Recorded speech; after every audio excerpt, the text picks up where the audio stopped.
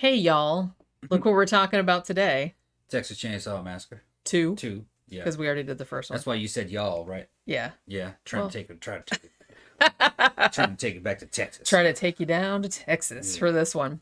I never, so- I'd never seen this movie. Yeah, you thought you'd seen I it, but I you hadn't. I saw it and I was going, damn, why didn't I fucking see this movie back then? I would have liked it even more. I mean, I liked it.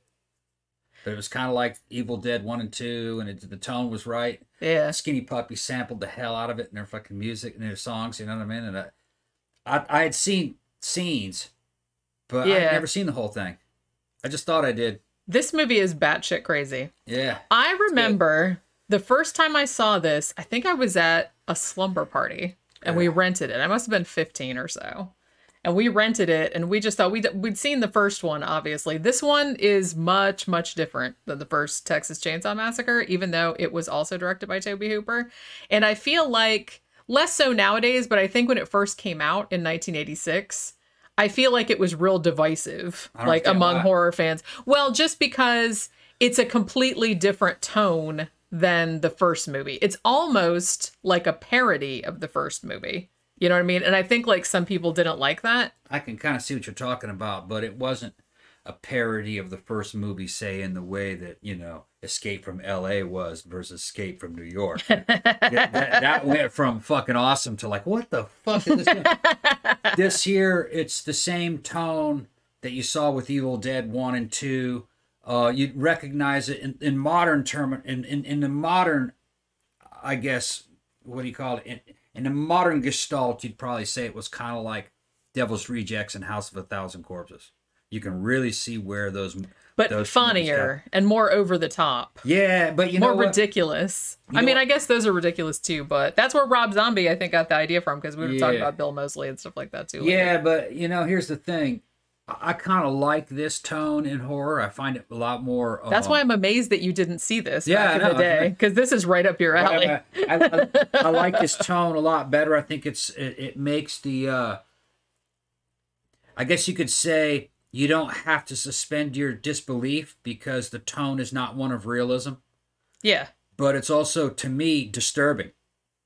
In the way that Yeah. House of a Thousand Corpses, because they're kind of making fun of people's suffering and shit, which I always find kind of real disturbing. You know, Devil's Rejects, House of a Thousand Corpses kind of had that same tone. When I first saw them, were, it was very disturbing. So back in the day when this movie came out, I would have seen it. I would have thought it was kind of funny, but I've also would have been pretty disturbed by it. Like it would have stuck in the back of my mind. I would have been thinking about that. Damn, imagine if, because the underground fucking lair underneath the, where where all the cannibals lived and Where shit, the way- Sawyer family lived. yeah, where all the skeletons and the shit that they were doing and everything underneath there, it was like something out of House of a Thousand Corpses. It, and even that movie kind of disturbed me for a while. Had Well, as I said, you can tell Rob Zombie was like a huge, huge fan Yeah. of this movie. Yeah, this- because this is kind of where he got the the tone from, I guess. Uh, you know, I liked the first one, um, but I like the second one a lot better now that I've seen it. Uh, I think it's a better movie. I would not say that, but they're very different movies. Like I said, Visually, it's a much better movie. it Uh, looks cool. I really, really yeah. like like the whole production design of the underground yeah, lair the with all underground the. lair, the way everything looks. That's the, super cool. The edit, uh, the script, uh, the the story, how it moves forward. I think it's a better movie. But you know what I mean? It's you know, cinema is uh, you know has a lot to do with Subjective. subjective. You know, to me, this is a lot better movie. Yeah. Yeah. Well, like I said, it's I I don't know. I I like horror comedy because I would call this a horror comedy. It's like a black comedy, uh, essentially. Um, which in, in the way that a House of a Thousand Corpses is a horror comedy. well, yeah, well, I thought that was funny too, Yeah, I, it but in a, in a fucked up way. yeah, it disturbed me. The fact that they were all that that you're supposed to think what they're doing is funny, Yeah. and and they think it's funny. This shit ain't funny. You know what I mean? Not really. Well, it, if if shit like that is done right, Yeah. it kind of makes you like it's funny, but then it makes you feel bad, Bad for you think thinking it's funny. Exactly. That's what I'm talking about. That's what I'm talking about. you know what I mean? Yeah. This one kind of has a little bit of that too. Yeah, they're keeping dead bodies around and stuff and fucking talking to dead bodies because they know the person. Just weird shit. So yeah. Wearing so dead bodies. Yeah. Yeah. So what ended up happening with this movie? Um, so Tobe Hooper, as I said, very famously had done, um, you know, he'd done the original Texas Chainsaw Massacre. That kind of made his name in horror. Even if he'd never made anything else, I mean, I'm sure that would just have cemented his legacy. He'd also done some other things like The Funhouse, which we reviewed on there. Like that movie. So then he got a three picture deal with Cannon Films. And if you know anything about 80s cinema, Cannon Films, uh, Golan and Globus, very, very uh, famous for doing mostly action movies. They did like Sylvester Stallone shit, like Cobra, um, you know, a lot of the Chuck Norris movies, the, the Missing in Action movies, like all those kind of movies. Yeah. So they gave Tobe Hooper the, a three picture deal. So I think the first movie that he did was Lifeforce, which we also did a movie retrospective on. And I fucking love Lifeforce, and I think it's really underrated. Space vampires, you know. I liked Cobra. Yeah. At the time Cobra came out with with with, with uh, Stallone, I thought it kind of sucked. Saw it again recently. Now it kind of aged well. Sometimes they're better, like when you see them many years Yeah, later. yeah, yeah. Yeah. There wasn't a lot to it at the time, but you see it now. and He goes, "No, it was kind of cool." Yeah. Yeah, But yeah, so he makes Lifeforce. Um, it doesn't make any money. So then he did uh he did the remake of Invaders from Mars. Yeah. Which actually I That's pretty think good. I saw it back in the day. I don't I remember it being okay, but I don't remember it making much of an impression. Um also that one didn't do very well. So finally for his third one, they're like, dude, um, please make a movie that'll make some money. So he's like, I got an idea. I'm gonna do a sequel to Texas Chainsaw Massacre, but I'm gonna go in a completely different direction than the original and also and make it kind of a parody or a comedy or something like that because he didn't want to do the same thing again um, and this one did end up making money not that much uh, it only cost about four four and a half million to make and it made eight million so I didn't know, not great but it did make a little bit of a profit I didn't know he made that Invaders from Mars. He did, that yeah. remake. I remembered liking it. i haven't seen it in a long time so I i wanna see can't really again. judge I want to see it. I got to see it. i remember seeing it and i don't really remember much about it but maybe if i saw it now it would make like a bigger I remember thinking it was just kind of had that cool kind of 80s vibe. Yeah You know what I mean? Kind of like an evil version of E.T. yeah and evil et i mean that's always kind of like a good There, there was a kid involved, and he knew about where the Martians were, and they were taking over people's parents and stuff. Yeah, that's right. Okay, now it's kind of coming back. And then they had the damn, Now it's coming the, back. to yeah. And I'll have to watch that the again. head Martian, I think, was inside. His head was inside a crystal ball or something, or tentacles on it. Looking weird. Yeah, I kind of feel like I don't want to get it confused with Mars Attacks, but you know what I mean. Yeah, I think they were taking over the. Didn't they take over the dog too? They would turn people into like robots. I got to see that shit again though. See, like I said, you might be you might be getting some stuff confused with Mars Attacks because I think I get because some of the Yeah. imagery in it is kind of Yeah, similar, yeah, yeah. As- or at least that's how I remember liking it back in the days, thinking it was a trip. They Yeah. played it on HBO all the time. Yeah. So, uh, so finally, for Tobe Hooper's last film for Cannon, he decided to do this one. Now, as I said, this came out in 1986, and it was kind of, as I said, a little divisive among horror fans because I kind of feel like it had been such a long time since the original. Uh, you know, it had been like what was it, 12 years? Because I guess the original came out in 74. And um, they're like, oh, well, we wanted it to be like more of the same. They wanted kind of, because the original Texas Chainsaw Massacre, obviously, you know, everyone's seen it, but it's kind of more like a documentary feel. It's much more realistic. Uh, not much gore. All the gore was implied, even though people remember it being gory. this one, uh, much, much, much gorier. Much gorier. Although, interestingly, as I said, I saw this when I was a teenager at a slumber party. And I remember like sitting there and watching it with my friends and stuff. And we were just like, whoa, so gross and stuff like that. But watching it recently, I'm like, oh, it's not as gory as I remembered. Well, over- I'm just jaded, I guess. It's over the top gore. It's Yeah. kinda, it's kind of cartoonish, cutting tops of people's heads off with chainsaws, and then you know, and the person's still trying to drive cars. You know, it, I mean, it's gory, but it's not like, it's not believable. Yeah. Just looks cool. And Tom Savini did the Yeah. did the effects. I, I think probably my favorite effect is that, like you said, like near the beginning where that guy gets the top of his head off while he's cut his cut off with a chainsaw he's driving. The only the, the only gory part that I remembered was when uh, Dennis Hopper, which we'll get into Yeah. this in a minute, when he kicks that the part of the wall out and then like all the guts fall out, Yeah, and also Stretch wearing her friend's face. I remember Yeah. that. But yeah, so this is like much much gorier. So uh so yeah, so the story behind this one is that there's like an opening crawl at the beginning. So this is set 13 years after the events of the original Texas Chainsaw Massacre, but I guess it's been covered up by the authorities. You know what I mean? Because you know, at the end of the first movie, obviously Sally Hardesty escaped, And so they were trying to keep it on the down low that there's like this roving family of cannibals like in Texas. I Well, they couldn't find the house where she said it happened. Yeah, they just couldn't find because I guess they bugged out. Yeah. So the implication being that they've been kind of moving around Texas, and the authorities like think they're almost like an urban legend at this point. So, um, however, the character of uh, Lefty, who is a he's a Texas Ranger, yeah, Uh, yeah. or something think like it- that. Yeah. He's played by Dennis Hopper, and he is supposed to be, I think, the uncle of Sally and Franklin from the first movie, Franklin, the killed, wheelchair guy.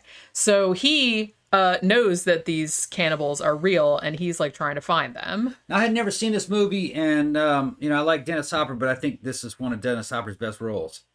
He he just plays a, a, a fun character, and he does crazy shit. I mean, he it's- leans into the Yeah, crazy he knows- He knows the shit's crazy. He's just this Texas Ranger that's hell bent on fucking finding out what happened to his uh, his relatives and to bring these damn cannibals to justice. And once he finds their lair and everything, man, it's fucking great. I'm He bringing it all down. Bring it all down. He just basically runs around all day, cutting with his chainsaws. He's got a, he's outfitted with all these chainsaws, and he's cutting down all the little metal. I'm the Lord of the Harvest. Yeah, yeah, yeah. Cuts down all the wooden, all the wooden poles that uh, pillars that hold up this damn lair that they're in, and it's it's a visual sight. I think they they really, you know, what I mean, they took it to a new level. I love that lair. It wasn't a It's house. It was, a, massive. it was an underground lair underneath an old roadside attraction Yeah. called what was it called? Texas Land or Texas War? Battle. Battle Texas, Battle Land? of, Battle- Battle Land of something Texas, like or that. some shit like that. It's got all these big fake mountains and fucking. It's got a cowboys and Indians, fucking kind of a and and Mexican kind of a motif going on, you know, where it's all kind of coming together in a big old damn war, you know, and it's abandoned and they're living underneath it and they've got it all customized. Yeah, like in all these tunnels. and there was kind of like an element of water park too, wasn't it?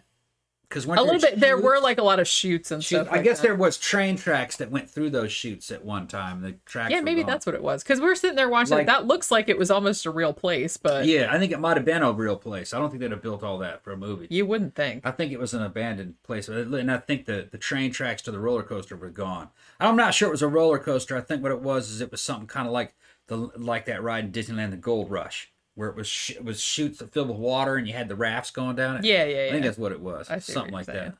Yeah. But yeah, so you have Dennis Hopper's character who kind of comes into this town and uh, you know, chasing these people. And these people, the Sawyer family, pretty much the only um member of, you know, the or the same actor is the guy that plays uh, you know, like the dad character, whoever. Um, you know, the one with the uh that makes the chili out Yeah. of people's uh, you know, Yeah, out, make out of human meat, which is kind of like kind of like Motel Hell, but Kind of like Motel Hell, yeah. But Motel Hell ripped off the original Texas Chainsaw Massacre, so you know, turnabout's fair Yeah. play. Yeah, yeah, that's, that's true. That's true. Yeah, they make side cash by selling damn human chili. Yeah. He- and he wins awards. He with it. wins every year. Yeah, he wins wins awards with it. And he he's the only member in the family that can kind of go out into public. The rest of them are all just too fucking freaky. Uh, one dude, I think it's his son, right? The one with the metal plate in his head. Looks- his I'm not sure if it's supposed to be his. I Oh, guess his it's his son or his nephews. It's not real clear. I think there's a bunch of inbreeding going on in the family too. Yeah, I guess maybe Um, it could be his son and his nephew at the same time. Yeah, and he's the dude from House of Thousand Corpses. And Yeah, Bill Moseley. Yeah, that guy. Bill Moseley is that his name? Yeah. Okay. Yeah, and he's real young in it. and He's got this exposed metal plate that he got in Vietnam, and he's just fucked up. And uh, he's constantly itching and scratching and eating little pieces of his scalp. and uh, so some, and he, and I think there was inbreeding before he fucking went to Vietnam, but he was trying to turn his amusement park into Vietnam land. Nom land, nom land, nom yeah. land. and it's like his dead bodies. Talking about going back to the VA to have his fucking plate replaced, and there's all kinds of weird shit. Well, he's supposed to be the twin brother of the hitchhiker from the original movie. Okay. You know what I'm saying? Yeah. Because interestingly, Bill Moseley. Yeah. yeah, that's right. Bill Moseley, yeah, he got run over by a truck at the end. Okay. And actually, the body that he's carrying around with him is supposed to be the body of that guy. Okay. It's supposed to be the run over All right. Hitchhiker. his run over twin. yeah. All right. Yeah, they're carrying around their dead ancestors. Yeah. And some of them you can't figure, you, you find out they're not dead. They're actually alive, but they're so old they don't move. And either that, well, Well, like I said, that that was kind of that was kind of like the first movie where Right. Grandpa came out and he was yeah. just They like look like corpses, but they're two hundred years old or Yeah, whatever. I think in this one they said Grandpa was one hundred and They feed them all liquid diet from fucking human human extract that keeps them alive Human in like a in like a state of near death. Yeah, and then uh, all kinds of and then you got leatherface there and he's wearing another another fucking rotten preserved body on the front of him so it's like somebody else is doing it i didn't really catch i don't i don't know if that was an ancestor who he was making it look like the ancestor was wielding the chainsaw i don't know it's like he had double disguises because he Yeah, also was wearing someone else's face. Yeah. and then he was also wearing, Wearing another body, body. like on Yeah. top of him. it was just So he's like doubly disguised. yeah leatherface thinking leatherface thinking Is- Unfortunately, they couldn't get Gunnar Hansen back to play Leatherface in this one. Um, so as I said, you know, so Bill Moseley, I was gonna say how he got this role. This might have been his first movie role. Like, I think he was in a couple little movies before this, but this was like his first major one. He actually got this part. I think he didn't even have to audition for it because him and his I think his wife or his girlfriend at the time, they had made a parody of the Texas Chainsaw Massacre called the Texas Chainsaw Manicure. And he had played like a hitchhiker type character. And so when they wanted to redo the movie and they're like, okay, well, we're gonna have like the twin brother of that guy, you play him. So it's kind of like channel that guy. Yeah. So that's how he ended up getting the part.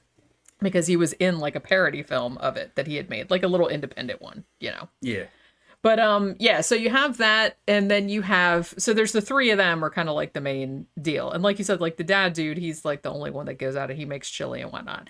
Now you also have the other main character being the radio DJ Stretch. Yeah, she got some fantastic legs.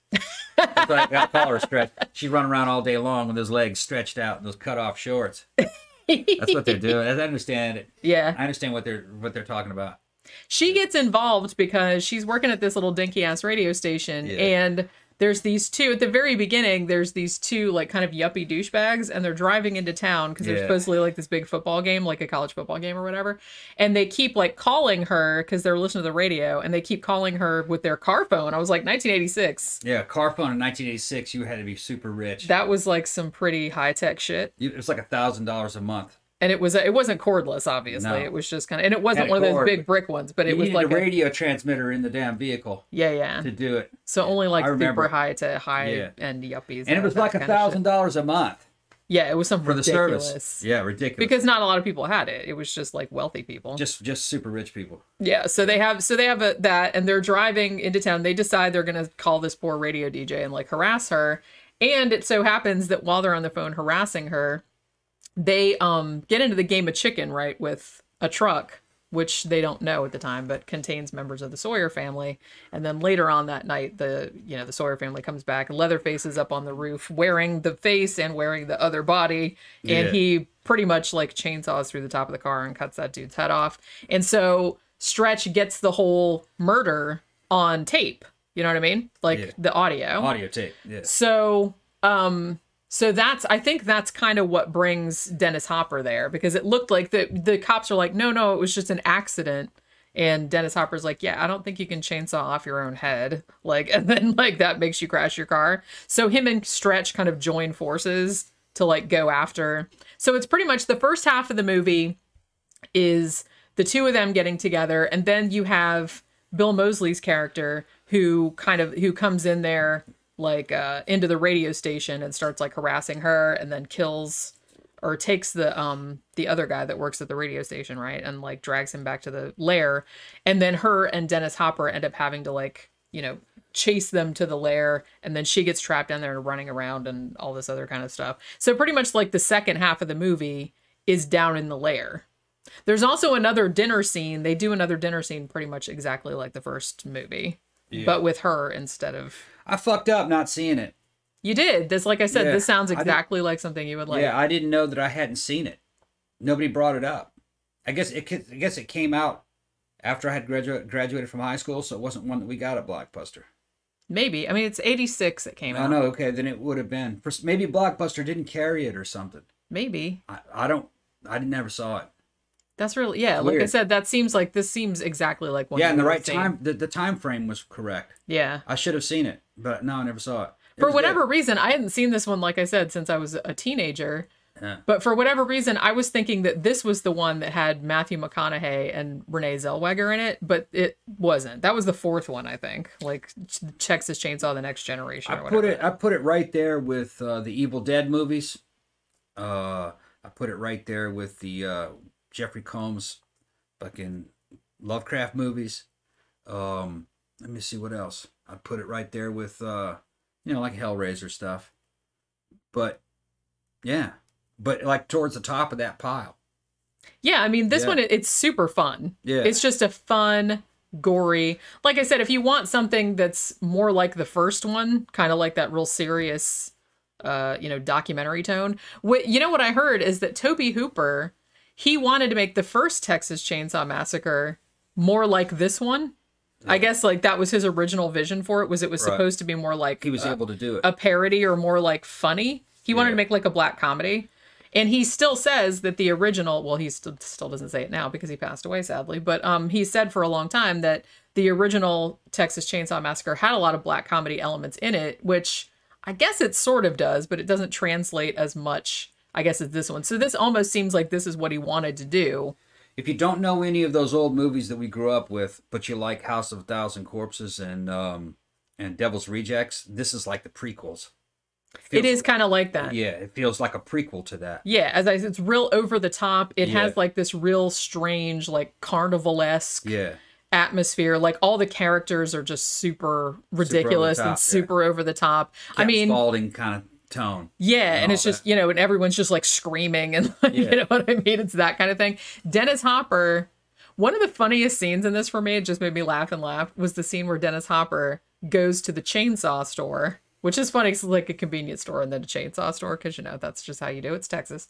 Um, and he buys three chainsaws without and there's like no talking like between him and the old guy that runs the the shop but it's just like the i don't know just like the edits and the facial expressions like between them and like i don't know something about it like just really cracked me up and it cracked me up that there's no dialogue in it that he just comes in and buys these fucking three and then he goes out and just like goes ham on this fucking log out there or whatever. You know what's funny is you were saying you think this is one of Dennis Miller, uh, Dennis Miller, Dennis Dennis Dennis, Hopper's. Hopper's best roles. Um, it's funny because he said later, I don't know if he still uh, you know thought this uh, later, but he was just like he thought this was like the worst movie he'd ever do- done, Hmm. and I was like, dude. You were in the Mario Brothers, like the Super Mario Brothers movie. Yeah. Like he played King Koopa, right? With John I don't know, I Leguizamo. Um, I was like, I think that might be the worst movie you were in. Wonder why But, you would uh, think this is the worst movie. I don't know. It's it's just funny because It stands out. it really does, and it's almost kind of like you know Frank Booth in uh, Blue Velvet, which you know another kind of role that he played. It, this one, he's kind of like Kinda that like in that, this yeah. one. Yeah. He just like plays a completely crazy person. I don't think he really understood the tone. Maybe not. I don't know. A lot of people didn't respect horror at the time. That's true. It was and, the eighties. And you know, he was in he was in Apocalypse Now. He was in a lot of great fucking movies. So Yeah. maybe in comparison to some of the great movies, this was not a highbrow movie.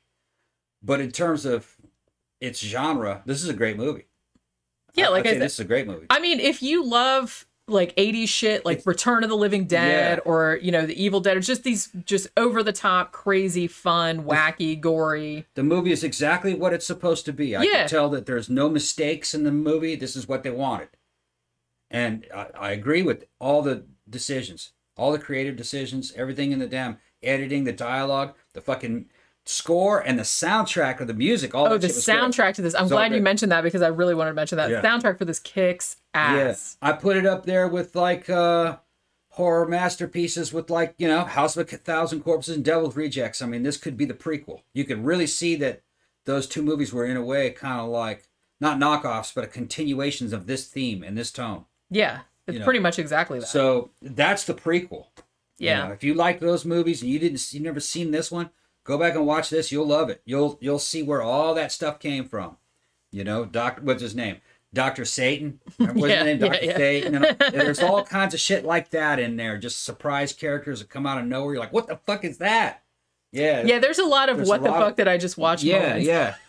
Yeah. in this movie. And particularly the very very famous scene of leatherface um kind of putting the chainsaw into stretch's crotch while she's just yeah. While she's trying to like convince him that she's Now like, don't do it. Don't do it. Yeah. "You're not mad at me. You're not yeah, mad yeah, at me." yeah, yeah. That was a great scene. I was so fucking. Well, that was playing right into. it's into so weird. that was playing right into the tropes of the time. Yeah, when we were renting this kind these kind of movies back in high school, it was about over the top fucking wacky violence, horror that made you uncomfortable, and sex, sex, sex, really just sexy ass women. Yeah. That was kind of like the girl from what was her name, Lorena. Uh, she always- what was that? What what's that? Uh, okay, the girl from uh, from Beyond. Once she's nearly got getting fucking naked. Oh yeah, yeah, yeah. What's that gotcha. girl's name? I got you. Yeah, I can't. I well, can't remember her name. I can't remember off- offhand. No, no, Quigley? no. No. no. Linnea Quigley was in Sorority she Babes was and yeah, and she was also in uh, Night, Night of the Demons. Night, and then what is it? Return of the Living Dead, or was it? Yeah, she was in Return of the Return of the Living. Living Dead. Yeah, Yeah, she was she's the punk. You. You always were gonna see something somebody like that in it in the movie. Yeah. so we expected to see that. And this character, she never gets nude, but she's she kind of had to fulfill that trope of the sexy da- damsel in distress who makes it. Although she she's it. pretty kick ass in this She's one. kick ass, yeah. Yeah. She's not. She's I mean, in she- distress, but she fights back. She holds her own. Yeah, yeah. Yeah, she's not Yeah. just she doesn't just sit there well, she gets captured a couple times, yeah, but she gets out. yeah. So she is a damsel in distress. She is waiting for a dude to save her, but he never saved her. No, he didn't. She said she He had his own agenda, She saved herself. so and he just went, Yeah. went off in La La Land. So- he was just like, you know what I mean? Hit Dennis Hopper. I mean, how many times are you gonna say that this movie is the only movie in creation Yeah. that has Dennis Hopper with three chainsaws yeah, with in a chainsaw Yeah. duel with Leatherface? yeah. I mean, come on. So she did fulfill the damsel in distress role. Yeah, yeah, Okay, but the thing is, is that she ended up saving herself. yeah. All right, and and that, which, I guess you could say, was not really a.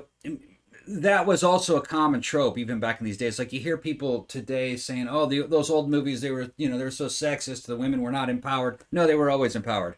Well, were, I think they were that, always saving themselves. that first started in the 80s actually Yeah, in the slasher movies Oh, because yeah. I, I do kind of feel like the fifties wasn't like that. no Yeah. 50s and 60s uh, well, horror late, movies late not 60s, so much You started to see some of that though. a little bit I spit on A your little grave. What, what that was? that was 71? that was early 70s Okay. that was 72 73 okay. um yeah that well that's like the whole yeah the whole rape revenge Yeah. genre Yeah, was you know there were there were you know examples of it but i do kind of feel like i feel like the whole because the whole final girl, girl trope and everything like that that sort of came into its own in the 80s i feel like Yeah. maybe late seven well i guess late 70s because you yeah. have like well, halloween and stuff. in stuff our lifetimes, the women always did well. They, they, yeah, people were trying to save them, but they in the end kind of saved themselves. Yeah because i mean yeah they they the had to be killed. they had to be Yeah. uh resourceful Yeah. Usually, what would happen that was like a success, an acceptable storyline uh, to a teenage boy who was the marketing. That that was you know is that the guy who he can identify with is trying to save her through the whole thing. But he can't get to her. He finally is able to get to her. They're together for a little bit, but then he dies defending her, and then she get then she gets away, yeah or then she ends up saving herself. yeah And then, like you know, on Friday the Thirteenth, then Jason comes up out of the water and grabs her. But you don't know, but you don't know if it really happened. Yeah, but you don't know if it really happened.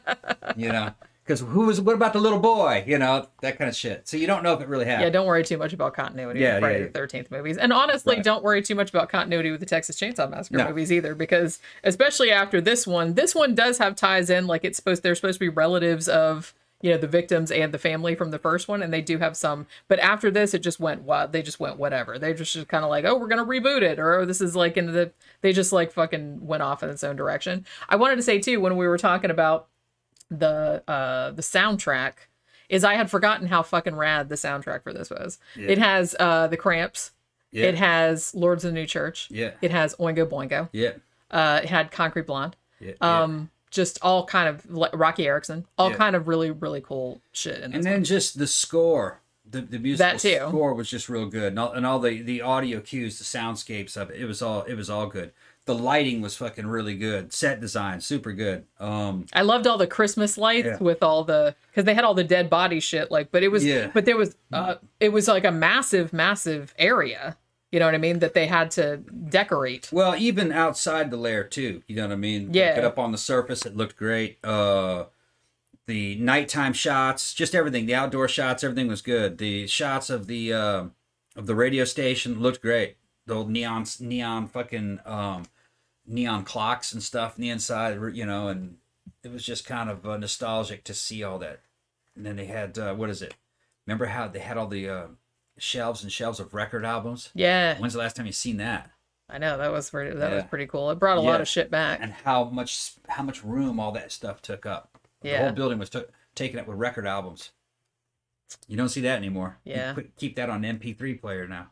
Yeah, back in the old days. Back in the old days, you had to have all that physical space. For Yeah. You know what's funny to me is that when this movie first came out in 86, um, they were going to, the MPA wanted to give an X rating because it was too gory. But uh, Tobe Hooper said, no, I'm not going to cut anything. So they released it unrated. It's just funny Maybe watch. that's why I couldn't get it at damn Maybe. Blockbuster. Probably. Yeah, they wouldn't do anything that was unrated. Yeah, They wouldn't run That's anything what it that was. was unrated. That's why we never saw it.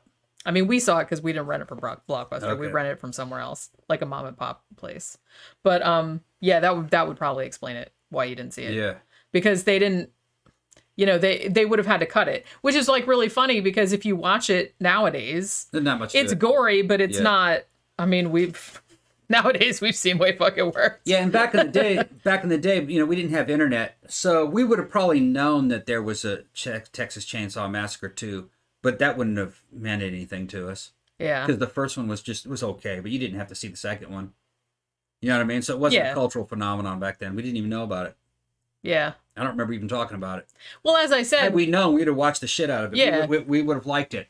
Yeah. it did okay at the box office like it made a profit unlike the other two movies that tobe hooper had made for Cannon but it didn't make a shit ton of money i feel like it only got um it got a cult following later like after it came out on video. Like a lot of people didn't go see it at the theater like didn't bother. Because like i said it had been such a long time since the first one had come out so i kind of feel like people were just like man we don't need more of that. But um yeah, so I feel like as time went on, as I said, it when it first came out, it was real like some horror fans were like, oh, they didn't like it because it's just like completely, completely different than the first one. But then that, but then there was like the other half of horror fans were like, no, that's exactly why we like it because Tobe Hooper decided to just go in a completely different direction instead of retreading the same stuff. And I feel like appreciation for it has kind of grown over the years. I tell you what, I, I can guarantee you, had we seen trailers for it, we would have wanted to see it. We'd have found it. But Yeah. we just weren't really aware of it. I mean, we I, I can I can remember that we knew it existed, but that didn't mean anything to us. Yeah, that's true. There were other movies to watch.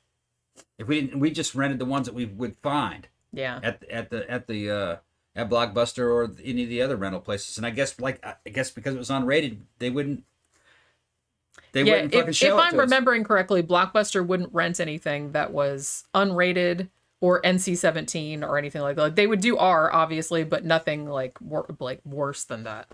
If you wanted something unrated or NC-17, yeah, Hmm. Go someplace else and get it. That's weird because Well, it's just kind of like Walmart wouldn't sell them if it was over an R. that's weird because uh, we we rented from Beyond, and we rented, you know what I mean, and that had that was pretty wild. I would guess That it was an R, though. that was an R. Yeah, I don't really see the difference between this and that in terms of that's what I mean. In hindsight, yeah. you know, yeah, this movie's gory, but it's Really- not not really that big that of a deal. gory. I mean, Yeah, compared to some other shit, compared to something like that came out. Let's compare it to something that came out in the '80s, like Dead Alive. This is way not as gory well, as Dead what was Alive. what was weird about that time is that you could get around those ratings, and maybe I'm just not really remembering how things were shot. Like you could you could pull tricks instead of making the blood red, you made it green, and you could do anything you wanted as long as it was green. yeah, And I think a lot. I think a Which lot of movies so fucking stupid, I know. and a lot of movies so arbitrary. a lot of movies were able to get those R ratings by using blood that wasn't the right color. Well, it's green because that's a zombie. Yeah, Or that's not because or it's an alien or It's a, something. de- it's, it's it's a demon, so Yeah. blood's gonna be green. or that person was possessed by the demon, so the blue the, the, the blood's blue or it's black. yeah, So that's how it got around a lot of that shit. But you didn't notice it right. because that's just some technical detail that you didn't. You know, the impression was still the same. Yeah. Head got cut off, the fucking blood went flying. The blood was black, but you didn't even really hardly notice it. yeah. Yeah. I kind of feel like, well, Tom So- Savini, who did the effects on this, if I didn't mention it, I do kind of feel like he kind of ran into this problem a lot because, you know, Tom Savini was in Nam. He was a, ph- photographer in Nam, so he would have to go around and take pictures of all the dead bodies and everything. So uh, he got very well known for his special effects being super realistic, and so I think that that got him into a lot of. So they ended up cutting a lot of his Yeah. effects just because they looked too real. I'd have to go back and look at those those uh, Lovecraft movies, and how much you want to bet that a lot of times that the blood was off color. Yeah, or maybe because that was more in a fantasy Yeah, it's more of a fantasy. Because I feel like you can get away with Yeah, more if you're doing something in, in a fantastical Right. setting. So maybe that's how they got around it, and we just didn't really notice it because I remember the gore being about the same. Yeah.